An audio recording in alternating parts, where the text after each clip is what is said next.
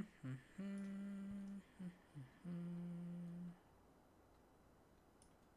Is anyone else noticing higher than normal GPU usage from 5M?